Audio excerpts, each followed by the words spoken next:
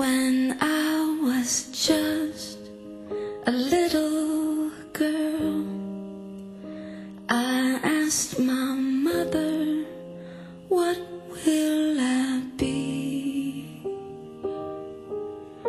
Will I be pretty? Will I be rich? And here's what she said to me.